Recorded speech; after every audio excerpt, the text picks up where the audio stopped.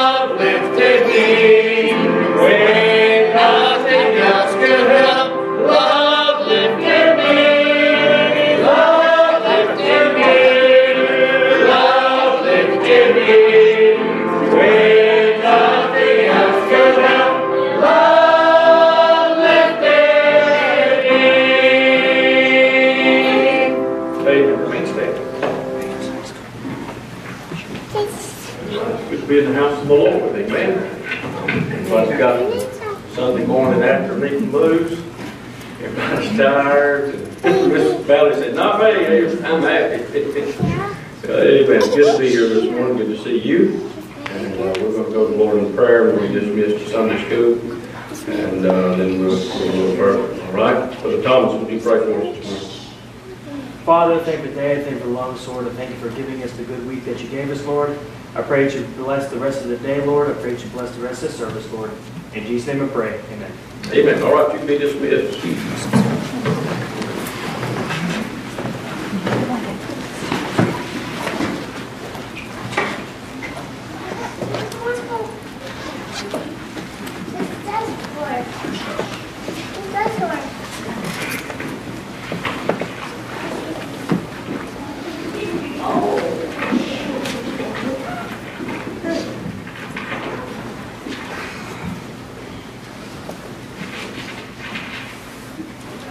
Well, we'll be in Numbers chapter number 14, if you will.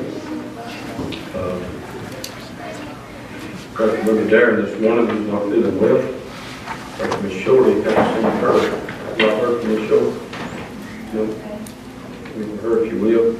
Brother Jim and Miss Carolyn as well. We're all help them. Uh, Got some good reports yesterday. Brother Ronnie Cannon and his wife were by the street. Hallelujah. Uh, They're absolutely chomping at the bit to get in the car and go down the road and uh, do something for the Lord. I spoke to Brother Farlow yesterday, and he is, uh, they got Miss Sandra home. They've had to do uh, hospice to get her home, but she did have a, uh, a much better day yesterday. And it sounded like they were, got a lot of fluid off of her lungs and stuff, and so she was doing somewhat better yesterday. So uh, remember them in prayer, if you will, and the Lord will help them. Uh, Other than that, uh, I spoke to Brother Jim this morning, and uh, seems like they had a good service, had some visitors today. He was real excited about that. Appreciate the Lord blessing in that. Anybody else have a prayer request for Sunday school class this morning? Y'all dead, ain't you? I'm gonna have to scream and holler and run up and down the aisle and. All right. All right. Um, Numbers chapter number fourteen. Uh, We're going to pick back up from where we left off out of chapter 13. We're in our journey through the wilderness. Uh, Remind you that, uh, that God has uh, brought them a long way. Uh, He had given, given them so much uh, in the book of Exodus. They shouldn't be where they're at in chapter 13 and 14. They have no excuse for this, just like sometimes we don't have any excuse. Amen, preacher. And, uh, but they're, uh, they're here now, and, uh, and God is, uh, gonna be dealing with some things in this chapter that are very hard. And, and I was thinking last night as I was trying to, study and prepare and all that kind of stuff, and, and, uh, this chapter is kind of hard to bring much good out of. It really is. Uh, I'm gonna try before I get done. But uh, I want, I want us to notice several things. If I had to title this chapter, I would title it, The Consequences of Unbelief. The Consequences of Unbelief. Or you could put it uh, this way, can't versus can. And then I thought about uh, can't never could. And that's true, isn't it? Can't never could, and, and that's where they're at here. Uh, last chapter, they dealt with uh, the, the 12 spies. They went into uh, Canaan and they spied out the land. And in the end of chapter number uh, 13 and verse number uh, 33, we, we left them with their grasshopper mentality. Uh, they said, We're as grasshoppers in their sight. They, they got their eyes off of God and on themselves. And that is always a mistake. They got their eyes off of God and they thought, man, we're nothing, we can't do this. And, and may I say this about that kind of mentality, uh, that unbelief, it spreads like wildfire in people. It's, it's like they had that gender reveal party out in California the other day. And I don't know what they did. But they winded up burning thousands of acres down. And, and it started from just a little bitty thing. And it got so big. And, and that, that is why uh, I guess they, they set something on fire trying to, I don't know how they did all that. They blew up some tannerite. Okay? That's wise in the middle of California.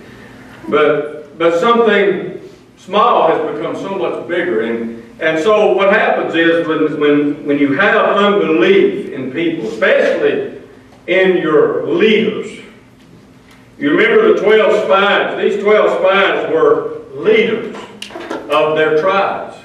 They were hand-picked men, and they came back and gave an evil report because of their unbelief. And so their, their unbelief, it began to spread like wildfire in the camp. And we get to uh, verse number 1 in chapter number 14, and the Bible said, And all the congregation lifted up their voice and cried, and the people wept that night. And all the children of Israel murmured against Moses and against Aaron, and the whole congregation said unto them, Would God that we had died in the land of Egypt! Or would God we had died in this wilderness? And wherefore hath the Lord brought us unto this land to fall by the sword, that our wives and our children should be, be a prey? Were it not better for us to return into Egypt? And they said one to another, Let us make a captain, and let us return into Egypt.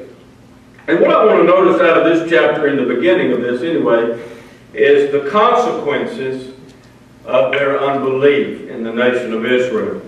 First of all, we see there's crying and weeping. unbelief is, is it breeds different things in our lives. And, and it will bring forth a lot of weeping. That's what's happening here to these people. They, they're not sure where they're going to wind up. They think, well, we're all going to die, or our children are not going to make it, or this is going to happen, and that. And the uncertainty of it all, they begin to weep and to cry because of it. And then it started causing murmuring in verse number 2.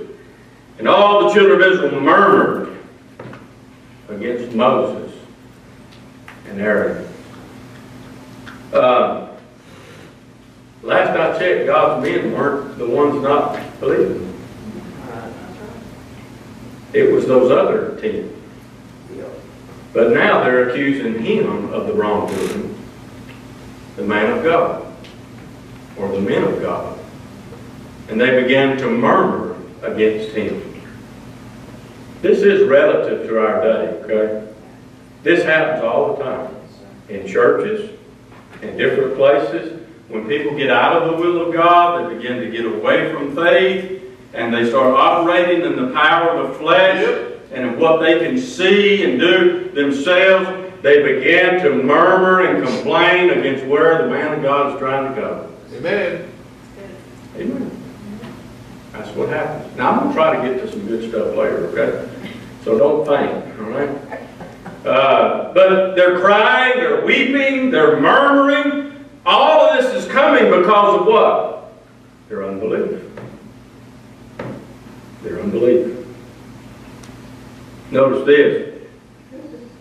In the end of verse 2 said, Would God that we had died. Now they got a wish to be dead. That's pretty sad, isn't it? I'd rather die than do this. I don't know if they're suicidal, but they are wishing to be dead. So that it would all just go away. And all this is stemming from their unbelief, their fear. There's consequences to unbelief. These are part of it. These are symptoms of it at least. Verse number three, we see a desire to return to Egypt. Now, I mentioned this uh, the other night, but uh, I've never wanted to go back to Egypt. I don't want to do that. I don't want to go back to the world. I don't want nothing to do with that. The world has nothing to offer me. I remember what it was before I got saved. I, I don't want nothing to do with that. But these people had gotten to the place in their life, in their journey, trying to get to this land of Canaan, that they began to have a desire to go backward instead of forward.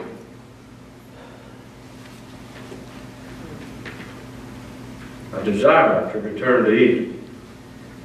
And can I say, I've seen a few folks do that.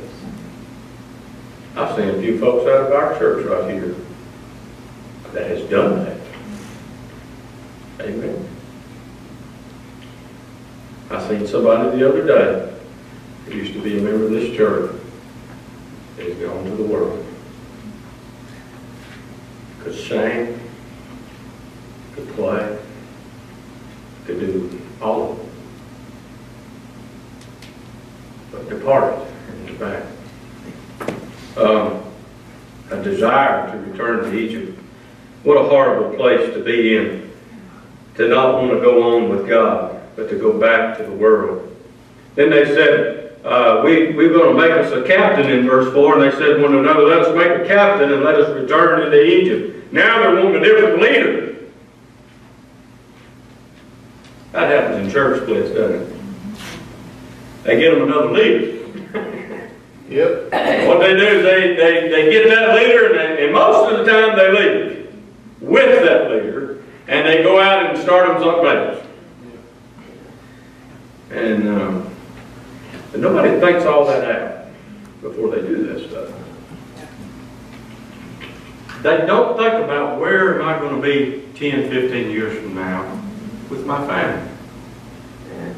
What's going to happen to my children?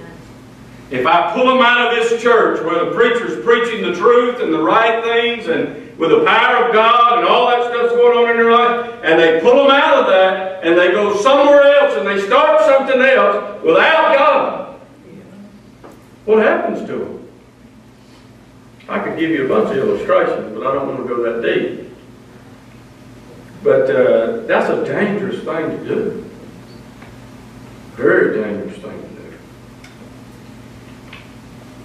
Then in verse number 10, we hadn't read this yet, but uh, I want to notice this another consequence or, or symptom of what's happening. He says, But all the congregation bade, stone them with stones. Now they have murderous thoughts. Now all this is starting from unbelief. And man, it's just ratcheting up and it's getting worse and worse. They don't know, we, what God, we just died, now they're talking about, we're going to kill you. It's just getting bigger and bigger and bigger and bigger. I've seen a little bit of that. Kill and eat the preacher, amen. That's barbecue, roasting with fire. That has happened here before, hasn't it?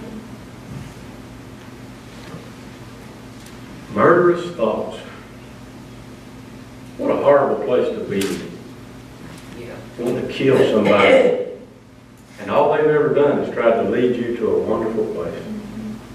What a horrible thing. So they got murderous thoughts. Uh, let's skip down to chapter. I'm, I'm going to come back through some of these other verses and other things, but uh, verses 22 and 23. Now we see they're being rejected by God because all those men which have seen my glory and my miracles which I did in Egypt and in the wilderness and have tempted me now these ten times and have not hearkened to my voice, surely they shall not see the land which I swear unto their fathers, neither shall any of them that provoke me see it. They're, uh, God's done with that.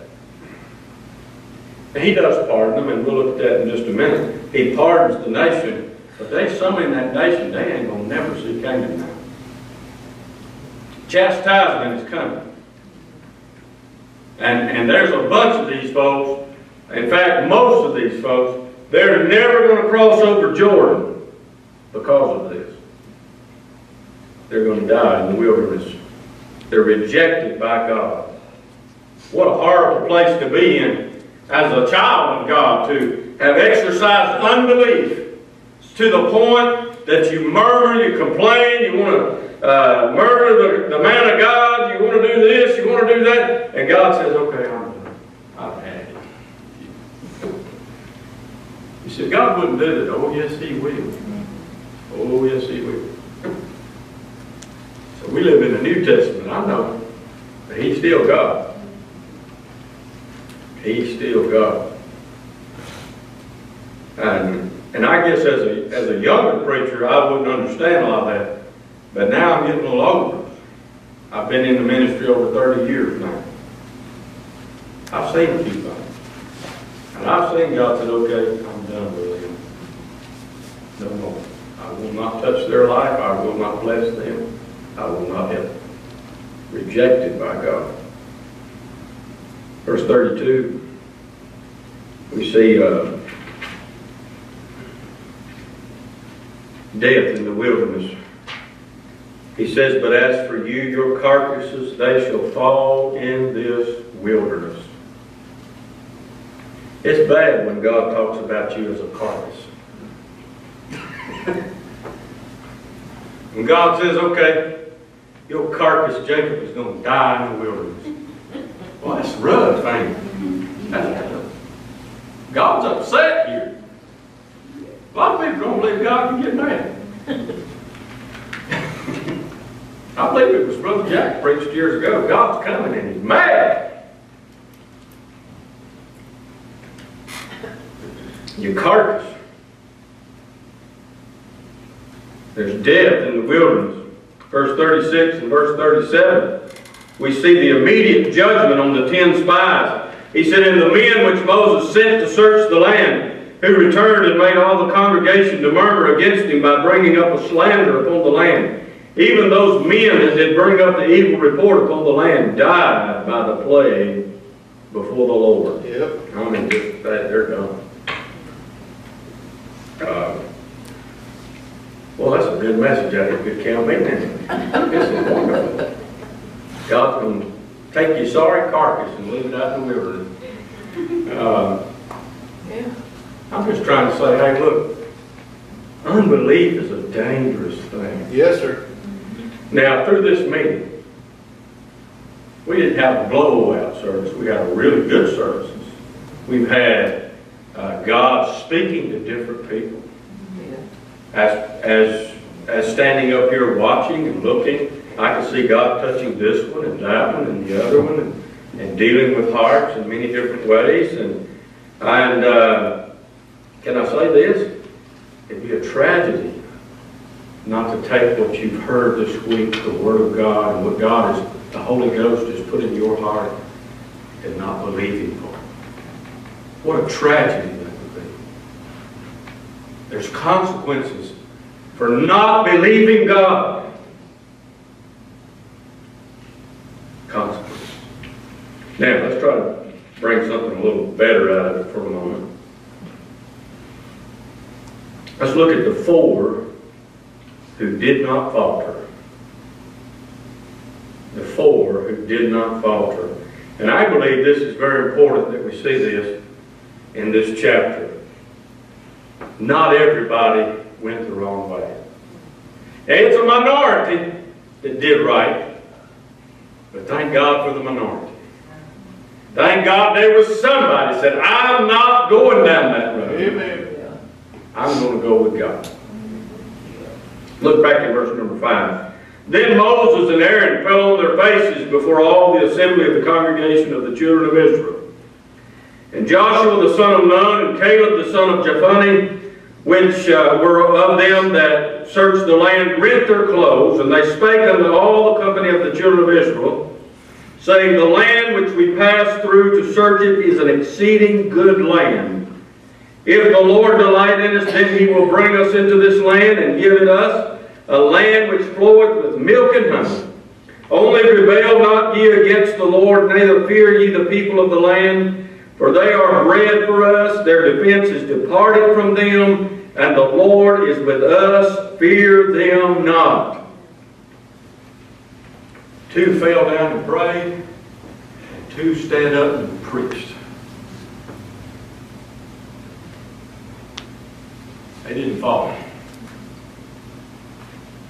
Everybody else, as far as we know, is over 20 years old, is lying in fear and unbelief. They're murmuring, they're complaining, they're crying, they're, they're wanting to kill somebody.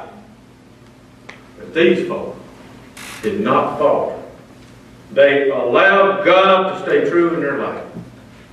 And they fell in and they prayed and they stood up and they preached. Hallelujah.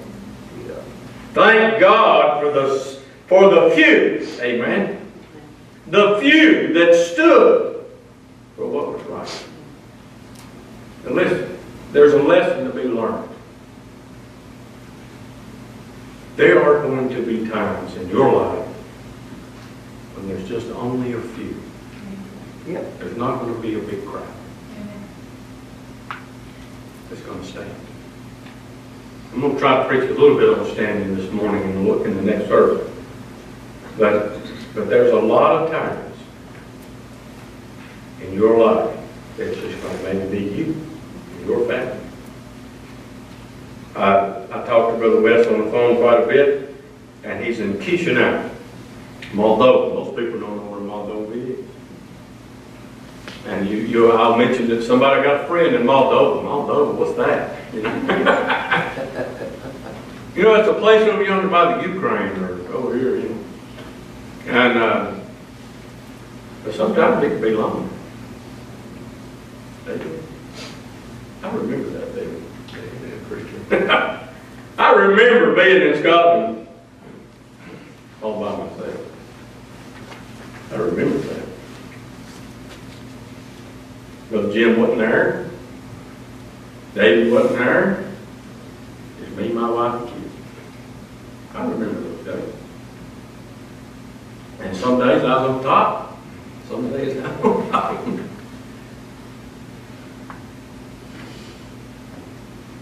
There's gonna be a lot of times in your life that there may just be a few. Very few. What are you gonna do with it? These four did not falter.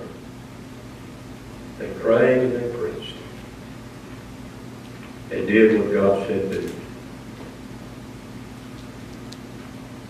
Thank God for those that will not give in. The, the boys sing that song, the boys, they're not boys, they're young men.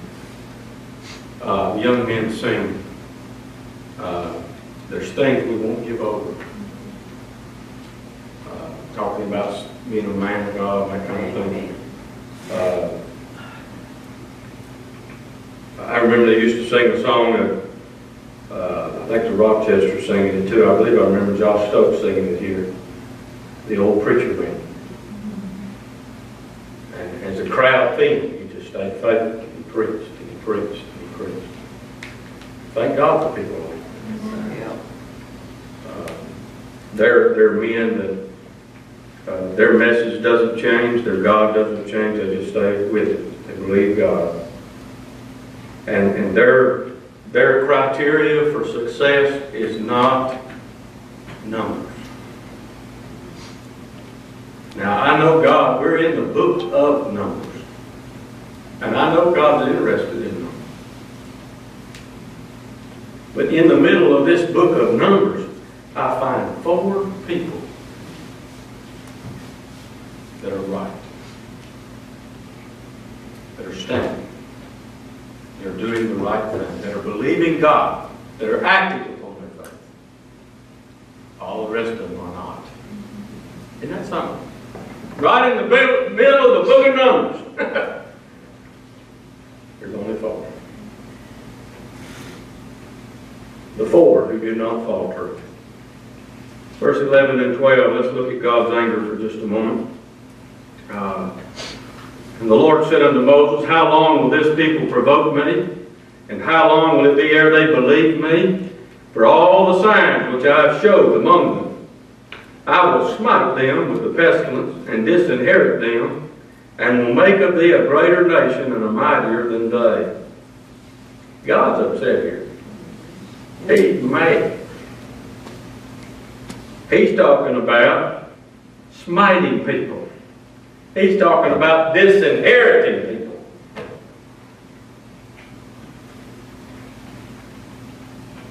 I'll just start over with Moses. God's. And then we see Moses' argument in verses 13 through 19. And Moses said unto the Lord, Then the Egyptians shall hear it, for thou broughtest up this people in thy might from among them. And they will tell it to the inhabitants of this land, for they have heard that thou, Lord, art among this people, that thou, Lord, art seen face to face, and that thy cloud standeth over them, and that thou goest before them by daytime in a pillar of a cloud, and a pillar of fire by night. Now if thou shalt kill all this people as one man, then the nations which have heard the fame of thee will speak, saying, Because the Lord was not able to bring this people into the land, which he sware unto them, therefore he hath slain them in the wilderness. And now I beseech thee, let the power of my Lord be great, according as thou hast spoken, saying, The Lord is long-suffering, and of great mercy, forgiving iniquity and transgression, and by no means clearing the guilty, visiting the iniquity of the fathers upon the children, unto the third and fourth generation. Pardon, I beseech thee, the iniquity of this people, according to the greatness of thy mercy, and as thou hast forgiven this people from Egypt even until now. So Mark, Moses is praying here and in somewhat having, uh, presenting an argument, if you will, to God, please God, don't do this. We've already dealt with this in a previous passage. But what if Moses hadn't prayed? You remember in, in a couple chapters ago, he didn't. He was mad himself. He just stood back. There was no prayer of Moses. And, and, and God was angry. And boy, there's a lot of people died. Real quick.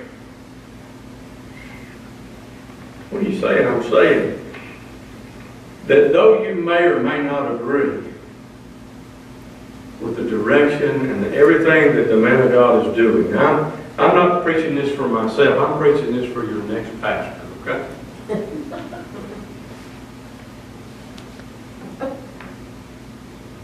Though you may agree or disagree, be careful. you're going to need him one day. Because there's times when we in our lives get all messed up. It's sure going to be nice for the man of God to be praying for you when you're all messed up with God. Yeah. Amen. Amen. It might save your life. It just might save your life. That's where these people are.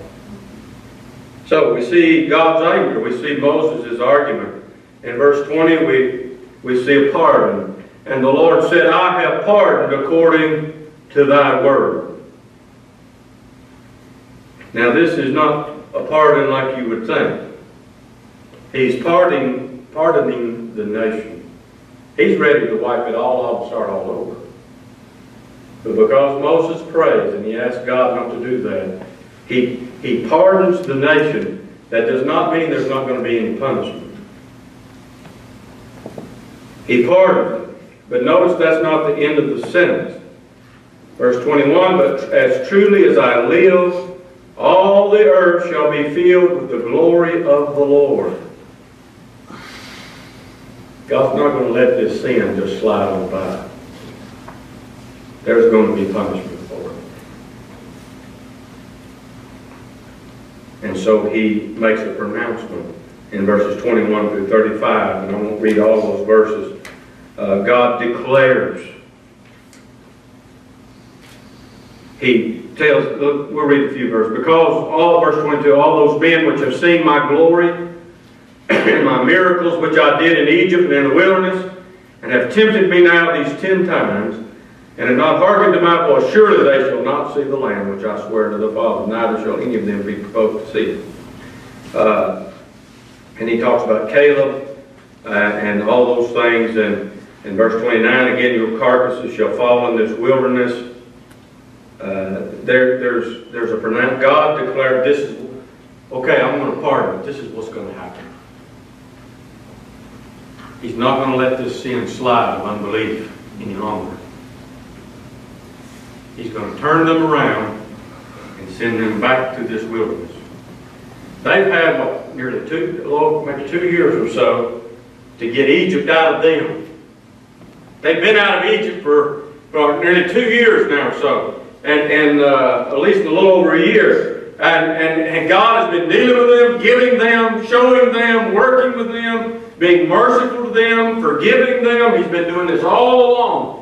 And, and now he's to the point, okay, you just go back to the wilderness. If you're over 20, you're going to die there. Your children that you said were going to be a prey to them, I'll let them go. But your sorry carcass is going to right here.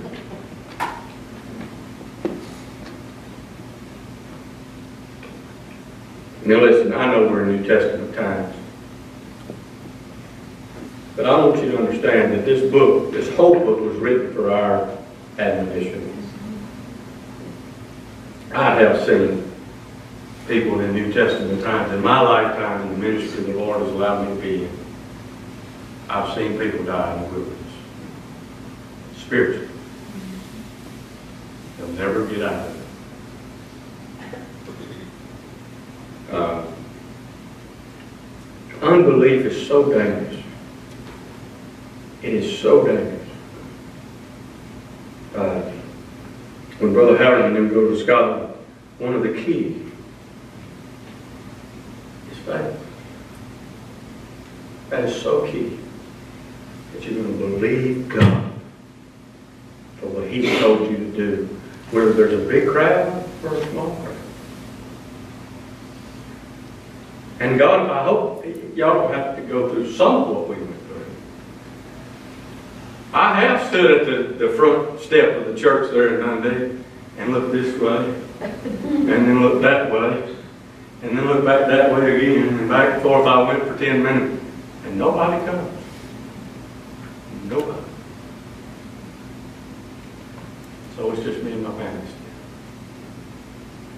That gets difficult after a little while, I'll be honest with you. What carries you through those things? Faith. Faith does. Faith will carry you through those kind of times. I'm, I'm glad Brother Jim and Miss Kim haven't had, had that. They, they've had other things. But they ain't had to have that. Uh, and, and of course, I go into, and I, and I get in prayer and I, and I ask God, what have I done wrong? Why? You, you go through all of that. Uh, we have to have faith in God. Unbelief has horrible consequences. Horrible consequences.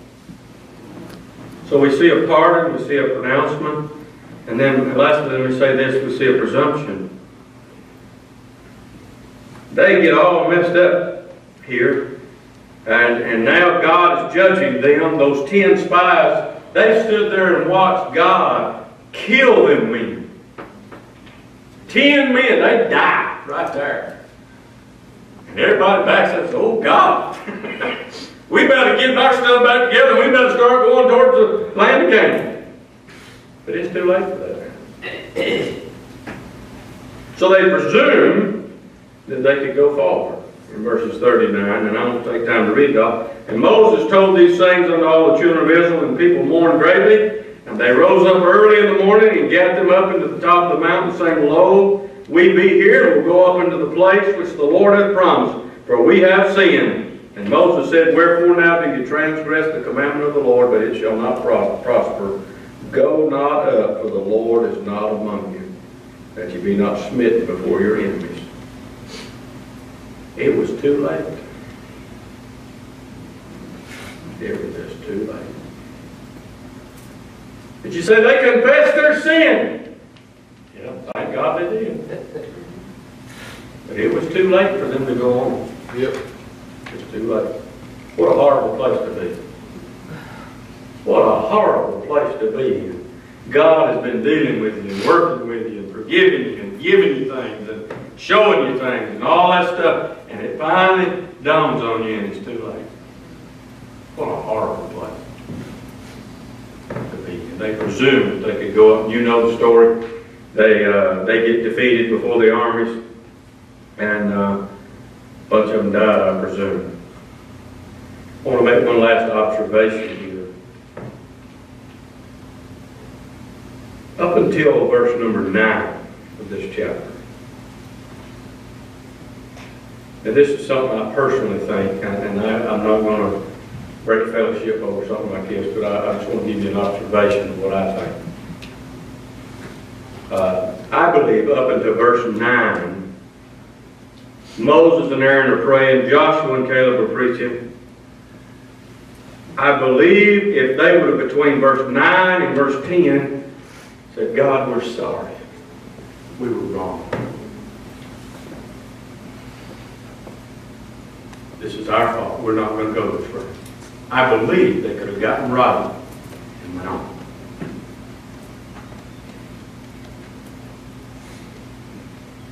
But they didn't. I believe they could have still repented and went into the promised land up until this point. But when they heard the prayer, they heard the preaching, God intervened and all this stuff, and then they said, we're going to stone them with stones. And the glory of the Lord appears in the tabernacle of the congregation, verse 10. That was it. That was the cutoff. Up until that point, I believe they could have gotten right and went on forward. But they didn't. There's a lesson to be learned in this chapter. That if we would repent of our sin,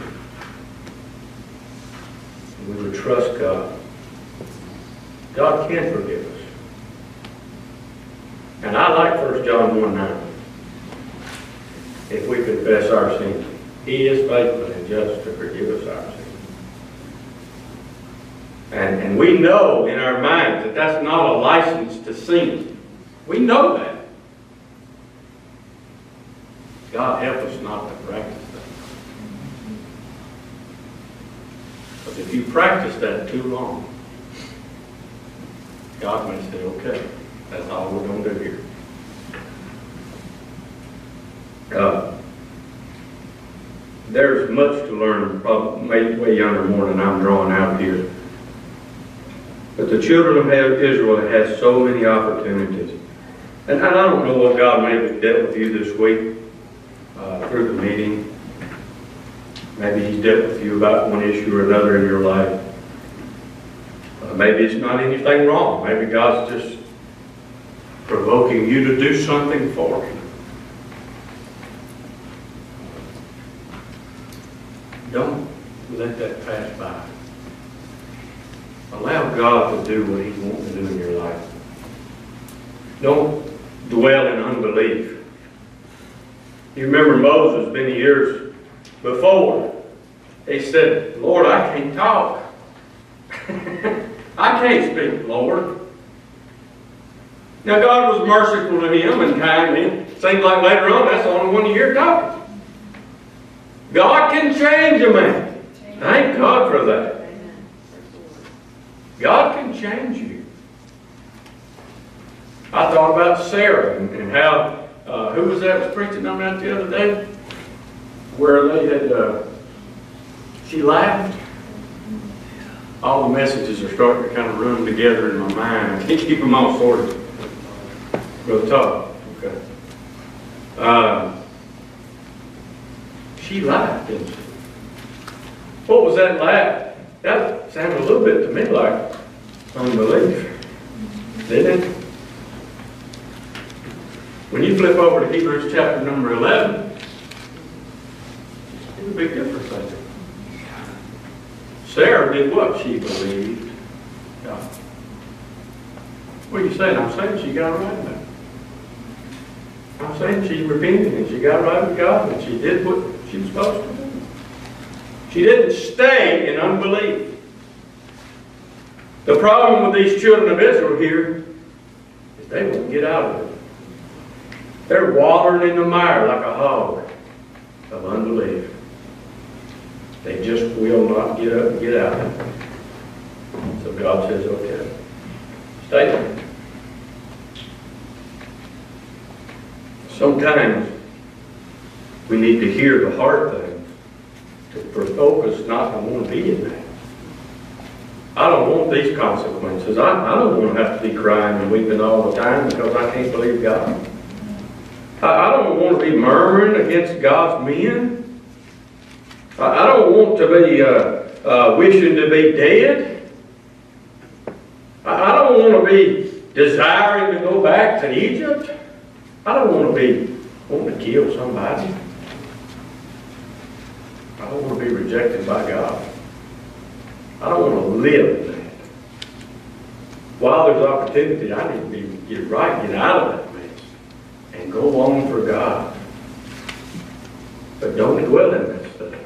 It'll finally consume you. So that's just a few thoughts out of this passage of Scripture. Uh, Lord willing, we'll get a little brighter in church, amen. It's back to beans and taters now, it ain't, it ain't cake and ice cream in the meeting. But, uh, appreciate your attention. All right, we'll be back in just a few minutes, we'll try to church, amen, you're dismissed.